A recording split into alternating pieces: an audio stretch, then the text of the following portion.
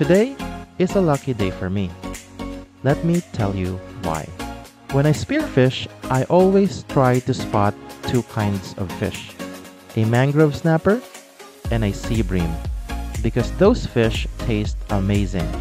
But those fish are rare in the place where I spearfish. I caught a few of them before but not together on the same day. But today is totally different. Right away on my first dive, I saw a decent sized mangrove snapper. I slowly swam closer to it to get a good shot and pulled the trigger right away. I was able to land a solid headshot that put the fish to sleep in an instant. Headshots are preferred shots in spearfishing. In that way, the fish will not struggle anymore that can potentially set it free and you will not have to deal with tangled lines. On my next few dives, a silver sea bream swam closer to take a look. This fish doesn't like to stay longer, so before it had the time to swim away, I lined up a shot and pulled the trigger right away. The fish wasn't even able to struggle much because it's another headshot. Same thing happened with the second silver sea bream.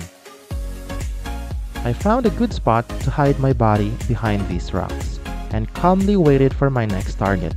And out of nowhere, this sea bream appeared, so I shot it instinctively.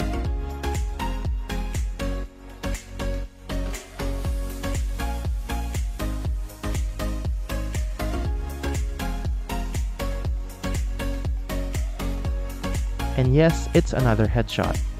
3 out of 3 for today.